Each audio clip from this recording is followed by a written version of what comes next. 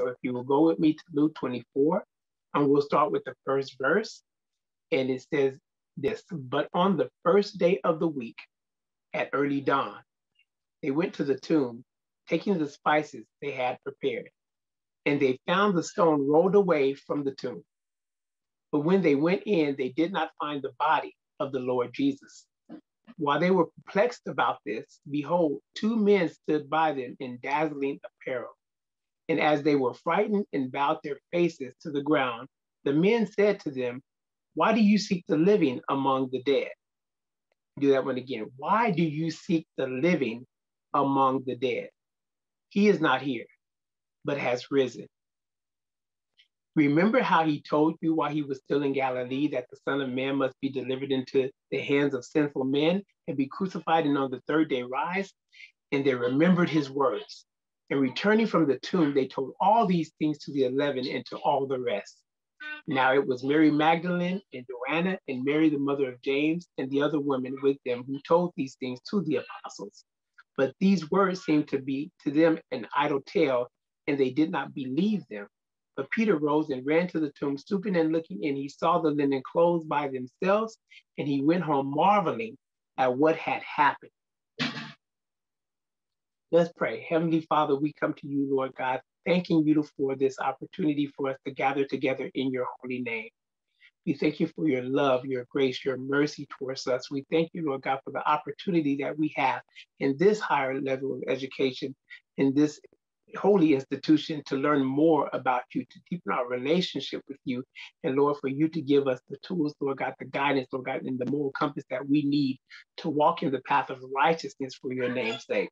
Lord, I pray for each and every one that's listening to sound my voice today, that Lord God, they will be hearing you directly, Lord God. That Lord, you will reach out, Lord God, into them, Lord God, to touch their hearts, Heavenly Father, that this will be a word, Lord God, that will be not only life changing, Lord God, but it will be a word of restoration a word, Lord God, of revival, a word, Lord God, of release, Lord God, a word, Lord God, that gives me rest in you, Lord God, and confidence, Lord God, to know, Lord God, that you are a God who cannot lie. And what you declare, Lord God, it surely shall come to pass. So I pray for each and every one of our SUM students, Lord God, the faculty, Lord God, this institution, Lord God, that you continue to use us to grow, Lord God, to go ye out, Lord God, to all of the nations, Lord God, so that we can accomplish the Great Commission in your namesake, Lord. And we give you glory, honor, and praise in the Master's name of Jesus, we pray. Amen, amen, amen. So this is know, always kind of difficult since we've come into this realm of this is the way that we, you know, actually minister, you know, because we don't kind of, you know, how kind of like the, you know, the feedback or, you know, the the the the the, the amens that come or the preach, you know, brothers that come along. And so I know you're not able, you know, to really do that right there. But those of you who are on with me, if there's something that resonate with you, just use your holy amen, which means there's some clapping symbols. I think there's a a little celebration horn, but just reaction symbols that you can give if something resonates with you, I'll go ahead and take that mode since we have to adapt, you know, to the level that we're in right now. Thank you, Crystal. That's how that works right there. So here we go. We have this story right here. These three women, and it says in the other women, so there was more than that. And depending on which gospel you are reading, it means on which one is determined on which one is actually named. And so you have to go into in-depth study, you know, and usually when I'm, you know, in, especially in the word, and especially when it comes to our students, I am putting enough out there. Um, but I actually encourage and I hope, you know, that in your study time is that you don't just take my word for it, right? You actually go and you study yourself take you know the what you're hearing and go to the word of god you go to god go to the throne of grace yourself and, and use the tools that you have been given to basically rightly divide the word, dissect the word, and understand how does this apply, you know, to me. No, I, I wouldn't come into another chapel, you know, if you have well, as a check off box for an assignment or as a check off box for a requirement. I would never take advantage of the Lord's grace, of his mercy, and just of his presence you know, of knowing that there's something that he has for me in this moment and in this time. So if we're looking at this, I encourage you to go deeper, right? Go deeper. This is not enough time to, to go deep into that. And I'm not going to also take that holy privilege that some of us as pastors take, where we think we got to preach the whole Bible, you know, in the 20 minutes that we have, right? So with this situation, we're just going to focus on the ones in Luke, and that's Mary Magdalene, Joanna, and also uh, Mary, the mother of James. Now, these women, they had, you know, they, they were the ones that actually considered financing actually the, the, the ministry of Jesus. So you know that they were important. And in context, if you read, they're, they're considered as, as one of the, not the, the main disciples, but considered as disciples, you know, to Jesus. And just this story alone just kind of tell you the depth of their caring and the depth of their concern and love, you know, for Jesus. And why did they love him so much? It's because, I mean, of the different aspects, they all had a distinct purpose and motivation for their following of Jesus, you know, but it was a common uh, denominator between the three. Um, for instance, let's just go with uh, Mary Magdalene. You know, she delivered. She was delivered from seven demons. Uh, we have, you know, a Joanna, you know, who also was delivered from evil spirits and everything. And Joanna was actually the wife of of Hupa, um, Huza, Huza, I'm sorry, Huza, um, who was actually the steward that headed the house of Herod. And so, and apparently, you know, that she had, you know, her own type of money or finances, whether that was an inheritance or something like that. But she she had it well off, and she was one that was basically supporting and putting money really into to Jesus' campaign, into his campaign. I'm so loose to my world, world into his ministry, right?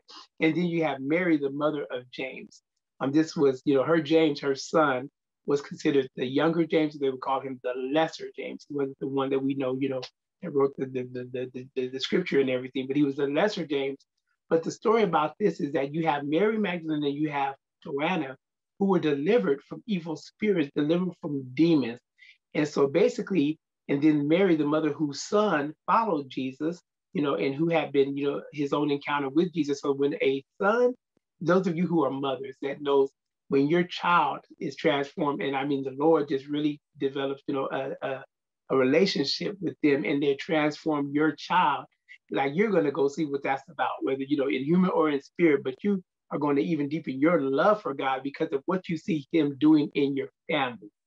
For, for Joanna and for Mary Magdalene, I mean, they were so grateful because it was something only God could do, right? It was only something at, the, at least in those points, because there was a couple of instances where the disciples were able to do that. They weren't able to cast out, you know, he had to actually discuss that and, you know, and, and have a conversation with them about, you know, their faith and, you know, and what they were doing. But to be delivered of something. I mean, have you ever been in that place where you just know it was nothing but Jesus?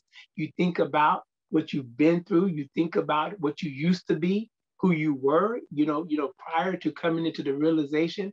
I often say to people, you know, I didn't even know how bad I needed to be saved until I got saved.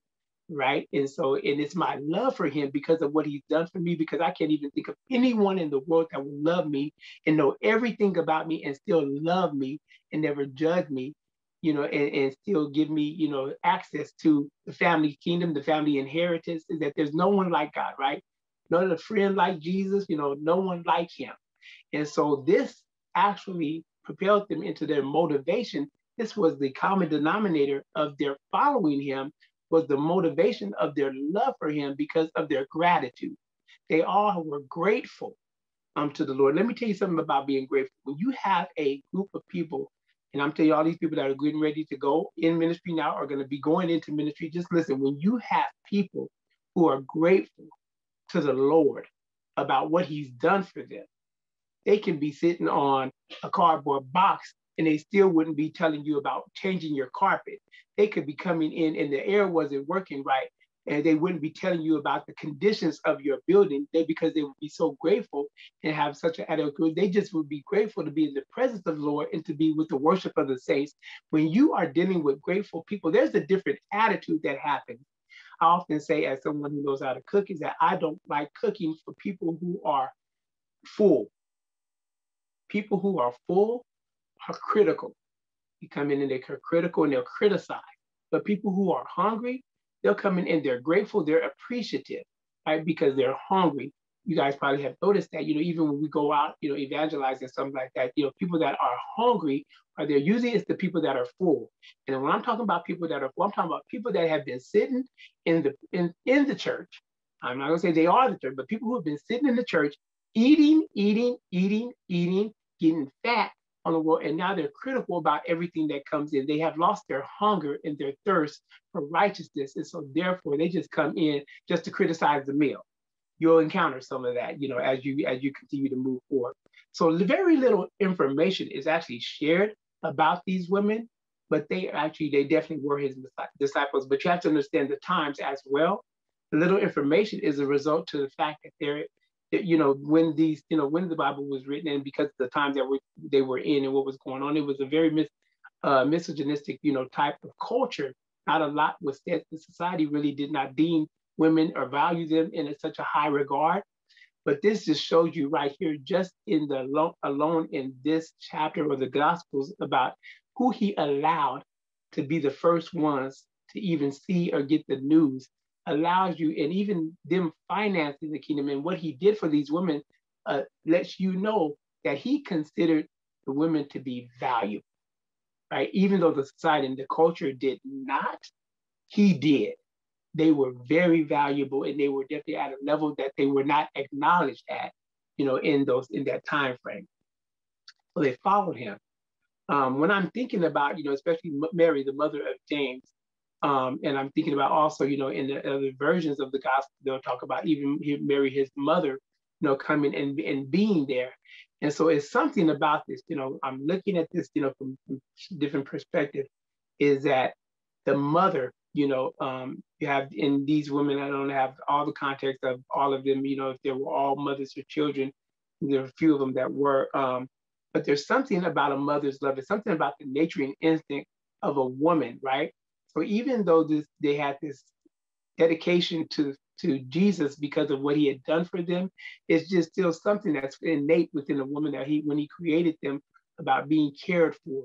And the thing is, is that it's just amazing for me to see that at this point, they're headed down to the tomb. They have followed this man in his ministry. They have finances. They would actually go out before him in the places that he was going to, and they would prepare for him to come. So they were with him. They were thick and thin, right and die. They were with him. And here it is. Now he is dead, supposedly. And they are still caring for him, even in his death. They're going down, taking the spices, going to basically anoint his body, making sure that the decomposure is not a stench. You know, they're going to care for the man. Basically, the teacher has left, but they're still coming to class, right?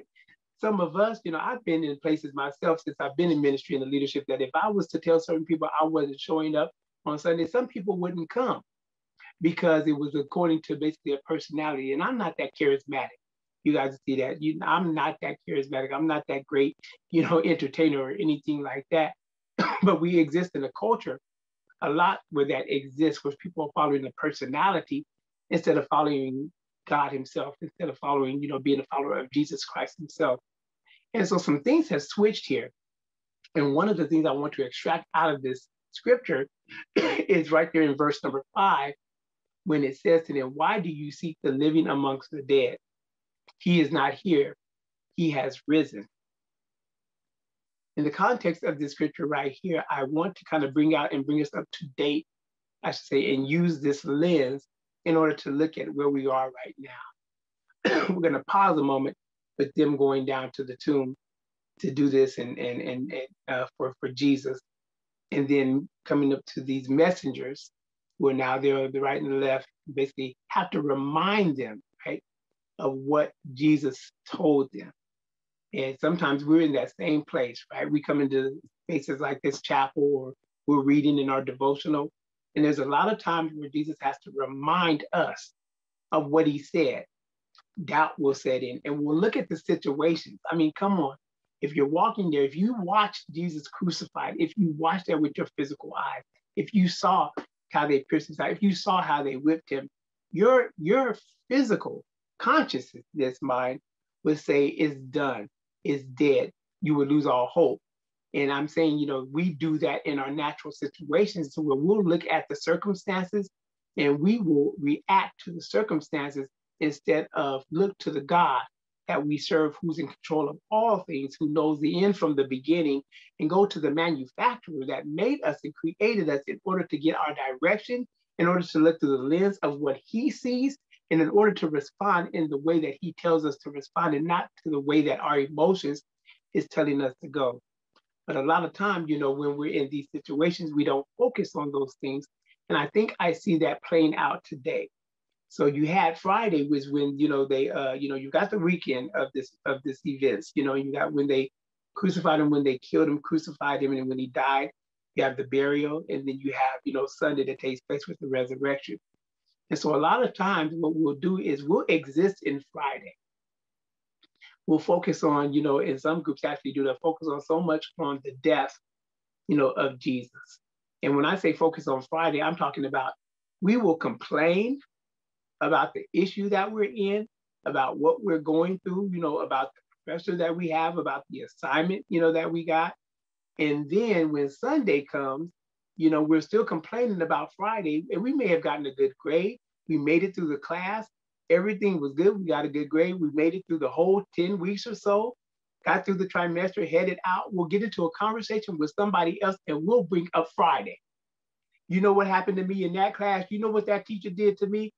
Instead of rejoicing in Sunday in the fact that we've made it through, you know, and everything's good. And I'm saying that about the resurrection is that we'll focus sometimes on the death and not so much on the resurrection. And I'm not saying as far as the songs and as far as the day when we celebrate resurrection, I'm talking about the life. Look, I'm talking about much deeper. I'm not talking about like how we act it out. I'm talking about how we live it out. You know, are you living on a Friday? Are you living your life as if he is still dead? Or are you living your life as if he is the resurrected Savior and he is alive? There's some things that we need to move on. And that's what I'm seeing in this context right here is that you are looking in the wrong place, looking for the right thing, but you're looking in the wrong place. They were looking for the right one, but they were looking in the wrong place. And if you have ever seen the tomb, you know, if you look it up, you know, pictures and everything, is that it was low. The entrance low. You would have to bow down in order to get into the tomb, you know, itself. So when I when I think about that picture of that, about how they what they did and went through to get in there, is that I, I just want to just offer to them is that, you know what, you're just looking too low. And I want to offer that to you all as well. As we are in this situation we're in, when I say situation, the way the world is operating right now, I believe that we have to actually lift up our heads, but we also have to renew our mind because we are not only looking too low, but some of us are actually living too low. And we're, you know, we're, and we're looking for the living amongst the dead. We're holding on to some old concepts. We're holding on to some old situations. And God is doing a new thing. You know, he didn't, he, COVID was not a surprise to our Lord. It wasn't a surprise. And the thing is, is that when I first preached my first message, when we first got into this pretty, you know, to the much like the shelter in place and all of that, and my first message was don't waste a good pandemic. Now I'm not talking about it's good because of what is happening in it, but I'm talking about God who is good can actually turn this around for our good and don't miss what God is doing in the midst of this whole thing. You know, one thing about this is that, you know, when there is a, a sickness or illness that comes, you know, uh, to us, you know, we're okay as long as it's temporary, right? We're okay as long as it was affecting somebody else, you know, down the street or in another country. We were okay, you know. But then when it jumped, you know, jumped the water, and then it started, you know, invading our space, when it when it started coming into our states, when it started hitting our home, and when it started coming closer and closer to us, you know, then it became a little bit more, you know, even real. And and that's even the way it is when it comes to our walk with Christ. Sometimes we just can't even fathom, you know, um, what we need Him for until we get into a situation that shows that oh, we we absolutely need Him. And some of you have your own place in your own space. If you know where that happened for you, it was that day of revelation to where you realize Lord, I need you. I can't exist in the same thing. I can't be at the same place, meaning I can't be looking for you, the living amongst the dead. Some of those things that were dead, some of those things that I've let go of, I can't go back to those things because you are the living God and I can't live a life that's full of life, you know, and be in a dead place, right? Forgetting those things are behind me, you know, I press towards the mark. And so when I'm thinking about this process that we're going through, this time that we've been in almost a whole year where this is happening, you know, a lot of times you'll hear, you know, preachers say that God is birthing, you know, something in you, right? Well, and when we hear somebody talk about that birth, usually it comes from the perspective of the mother of what she goes through, especially, you know, and they'll talk to you about the whole, you know, pregnancy process and God's doing something inside of you and he's going to birth something in you. And that's all well and good. But what I want to kind of, I should say, resonate, you know, with you guys is that have we ever looked at that? And I don't think no one has. I'm just asking it rhetorically. Have we ever looked at that from the perspective of the baby? I don't think anybody has interviewed the baby, you know, after they were born and asked them, well, how was that experience for you? How did that, how did that work out? Because of course we wouldn't be able to get a response from a baby. But I'm looking, I want you guys to put yourself in the mindset of God, if he's birthing something in me, let me put myself in the mind of not the one that actually is, is the one giving the birth, but let me understand the baby that is coming let me understand that there are certain things. And when I say this piece, is that when my wife was pregnant, I mean, when it came to the time of that baby coming, being born, my, my son being born, it's a it's a nine month period, and then the baby can't can't stay in there no more, right? It has to make a transition, and I believe the time that we're in in this COVID in this pandemic, we are in transition. We cannot go back. My son cannot go back to the womb, and some of you are in wombs that you're too too big for. And when I say that, it could be a place, but it also could be a mindset, meaning that you know you can no longer be in the same place. You can't even, for some reason, you don't even laugh at the same jokes anymore. Um, that they're not even funny to you. Um, for some reason, you know what? Some of some narrow-minded thinking, narrow-minded people, and narrow-minded situations actually more get on your nerves than they used to before you're in a position where you can't even tolerate certain things. You're wondering what's going on. And I'm saying it's maturity. That's what's going on. You're coming to a level of where no, there's got to be something more than this. And for those of you who are part of this educational system in this institution, the more that you learn, the, the more you get into that place because you you won't even listen to things the same way. You won't even listen to things the same way. You will listen to a message and you'll hear something and you're like, no, that's not the right context. They took that out of context, your knowledge. And it brings you to a level, not for criticism, but actually you're able to digest it, analyze it, you're able to process it, but you're able to recognize sound doctrine, sound teaching. So when I'm thinking about this, the woman going down there, I'm thinking about the birthing process, about what God is doing to us right now. So I want to put that together in saying that it's time for us to move forward, right? They didn't sit in the tomb and wait. They, they ran to tell somebody, well, they were scared. They first they were scared. They told some of the apostles, but they were scared. He is gone. And I'm thinking that I want to say in my little Holy Ghost imagination is that some of the places that we had that we call the churches prior to the pandemic um, are waiting to go back to business as usual. And I'm telling you, we cannot afford to go back to business as usual. He has moved on, and we need to find out how do we move with the Spirit of God. And I'm not putting everybody in that category. I always tell people do what God is telling you to do. But from the conversations I'm engaging in with a lot of clergy, some people don't even know how they're going to make it, what they're going to do after this is over. They're trying to figure it out. And I just tell them, listen to what God is telling you to do. What we can't do is we can't be afraid to switch and to change and to go into a different direction. If we trust the God that we say that we serve and we trust him with all of our hearts, our minds, and our spirits, and we love him, we will trust him with everything.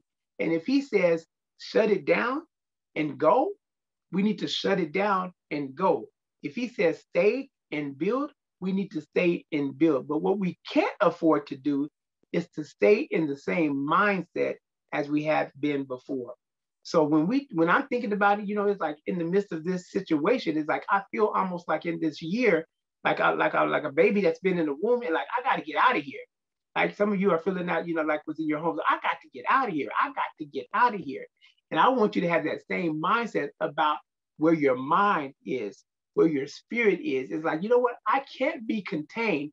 There's something inside of me. It's the Holy Spirit that's moving, and it can't be contained. I've got to get it out of here. You know, we had to do Mardi Gras a whole different way. And I was interesting as I was hearing, you know, some of the testimonies, and I gave all praise to God for all that he was doing and everything that he continues to do. I'm in awe of him always. But the other part that was interesting to me is to hear some of the testimonies about how amazing they were about the evangelism that took place within their own cities we had to switch. We had to make a change. We couldn't go back to what we were used to. So we had to do something different. But I'm amazed by some of the testimonies I heard because I was under the understanding is that the way that our school is set up is that that's what we do. We practical, you know, practical ministry along with, you know, education. And so I was thinking that, you know, man, haven't we seen, you know, uh, transformation take places? Because aren't we ministering? You know, are we waiting for Mardi Gras to minister to the world? Are we waiting for that opportunity to go out and evangelize? And if we are, that is the old, that's Friday. If that's what we're doing, you guys, that is Friday. It's Sunday now. It's the resurrected life of Jesus Christ. He, the situation has changed, the game has changed, and the word hasn't. But it's now time that the, the modality of ministry is you got to move.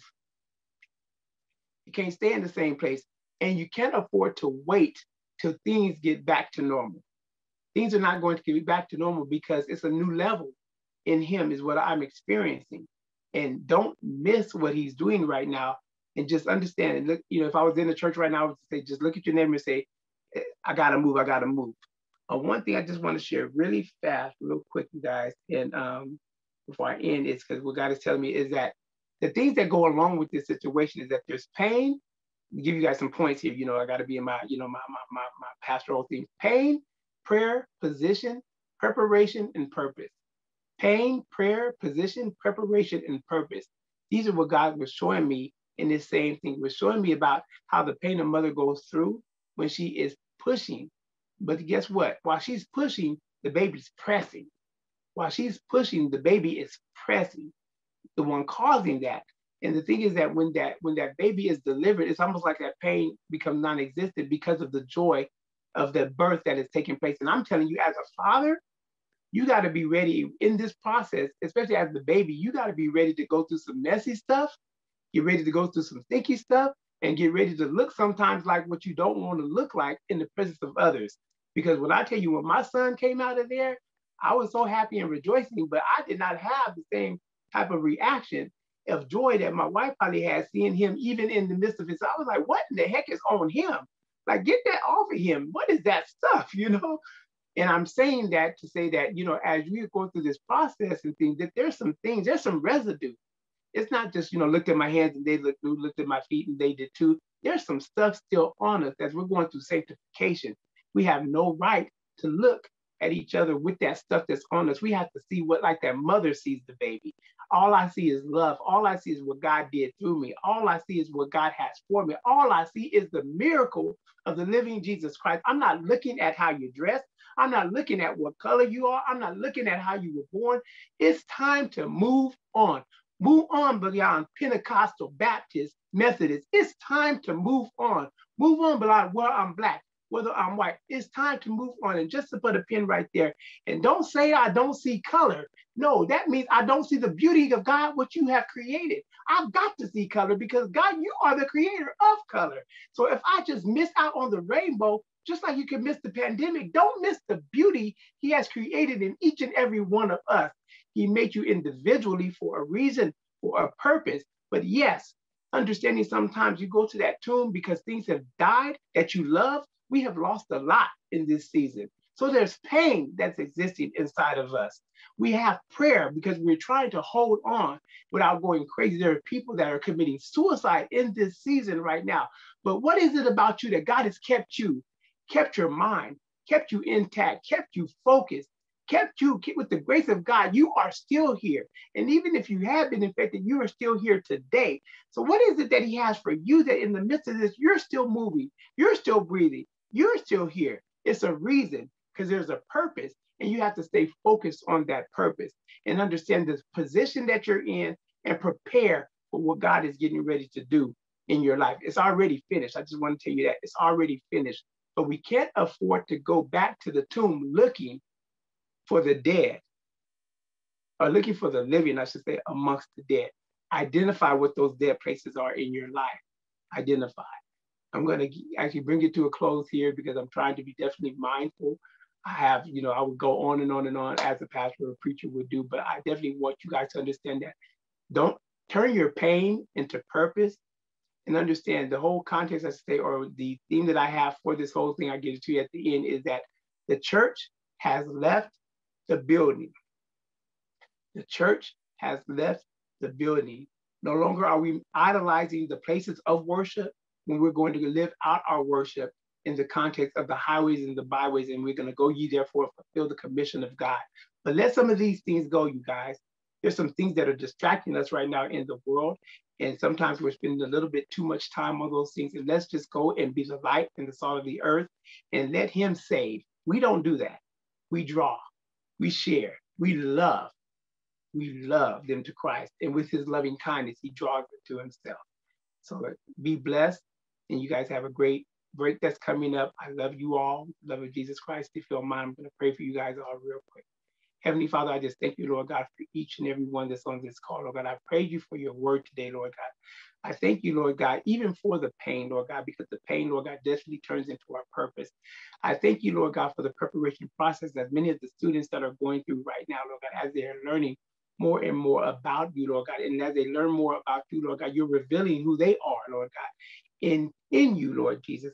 I pray, Heavenly Father, Lord God, for the process, Heavenly Father, that you're giving them. I pray for patience in the process that they will allow patience to have its perfect work so that they will be lacking nothing, so that they can be effective soul winners in the kingdom.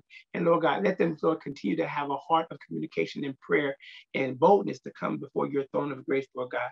Lord mercy and make the request known to you, Lord God. But let them come in, Father, to get their assignment and not to give you orders, Lord God.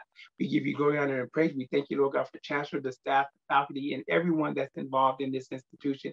And we thank you for the opportunity that we have to be a part of your vision for the end time, Lord God, and for the goal of being together as one body in your as your bride.